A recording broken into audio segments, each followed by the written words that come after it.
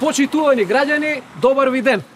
Какви граѓани, јас сум селанец, какви граѓани. Нема селани, проблем, нема селани. проблем, другарче. Почитувани селани. Е така. Како што знаете, за да се усвои еден проект во општината, мора да се помине низ процес на јавна расправа или понашки кажано дебата. И во таа дебата граѓаните треба да си го кажат своето мислење. Мислиш селаните? Добра бе, ајде не Да. биди досаден, ајде се селани. А селаните? Селани. Добро, не се лути, не се Да. лути. И сега што е Муабетов? Вие како народ ќе си го кажете вашето мислење во врска со нашиот проект, и ако ви бендисува, ние проектот ќе го изреализираме од почеток до крај. Значи, мене ми е многу жал што има многу малку со селани дојдено овдека, освен вие тројца, ама што да правам, ние објавивме на нашата интернет општинска страница и жал ми е што ги нема твоите со селани. Абе, Вашите со селани. Каква страница бе, интернет, ние немаме време за тоа вашето интернет како се вика. Ајде бе, доста за новеташ, леле, пушти го човекот да каже што има да каже. Така. Значи, што е мојата идеја? Мојата идеја е во вашето село Кравари да отвориме хотел за домашни миленичиња. Со други зборови, кога ќе отидете на одмор, рецимо во јули или во август, да си ги ставите вашите мачиња и кучиња во хотелот и нормално таму ќе имаат нега, храна, све. Браво. Алал вера. Браво, во е гениална идеја. Добра е, бе. нели? Мозок си градочолниче. Браво. Секоја чест за идеја. Благодарам. Браво, браво, алал стварно. вера.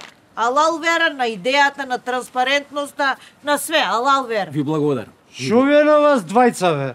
И што? Бе, каков хотел за кучиње, мачиња, бе? Ово е живо село, бе, овде живеат 1300 луѓе, бе. И сите ние дома си имаме по некоја кучи и маче и сами си ги чуваме какви хотели. Абе, колку си прост.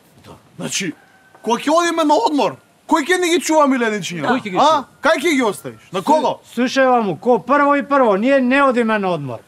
Ко второ и второ, ако отидеме на одмор, у секоја фамилија има баба и дедо и они ќе ги чуваат кучињата и мачињата. Леле, абе, само да збориш бе, само да збориш бе. Нели ти е срам бе, луѓето на месечината се качија, Тачно. ние не може да се договориме за еден едноставен хотел за миленичиња. Така ли е градоначалниче? Апсолутно сте во право. Апсолутно сте во право. И пазете сега што е најважно. Што? Значи парите ниту ги дава општината, ниту ги давам јас, ниту ги зиеме од граѓаните и селаните, него парите се француска донација. И според мене не треба да се пропушти оваа шанса да го изградиме хотелот за домашни миленичи. Во Кравари. И многу добро ќе видите сето тоа. Јас прв сум за, еве. Еве и јас сум за. И Значи, јас сум двајца се за? Ја по-глупа и идеја немам чуено, јас сум против. А, многу ми е жал. Двајца се за, вие сте против. Мене ми е жал што вашите соселани не кои го направи поголем број, меѓутоа два спрема еден, значи го градиме хотелот. Yes! Ја Тоа подобро ќе ги видам овие двајца кода не се од ова село, бе. Од овдека се, од овдека се. И сега што да ти правам другите што не ти дојдат? Абе, Све беше објавено, бе. транспарентно и отчетно. абе, не, не, бегайте немој да се лутиш. Абе, Немој да се лутиш. бе. Абе, знаеш каков хотел ќе направи за милиничиња? Муе, Бомбона ќе биде. Еј, на два спрата ќе го направим. А, маестрално одиграно, тато, е, маестрално. Кажи ми, колкав процент лапаме од донација? 10%, што ќе каже 50.000 зелени кркушки. Значи сега пази вака, одмор на Сејшели, така, бунда од Визон и да не го возам голфот по градот да ми се смеат, молим те, некоја количе, ај! Срце моје убаво.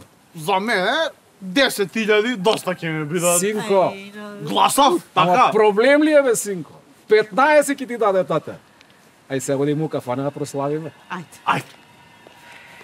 Како ќе го направиме хотелов? ле ле ле ле. Мислам, онаа локација дека е добра таму.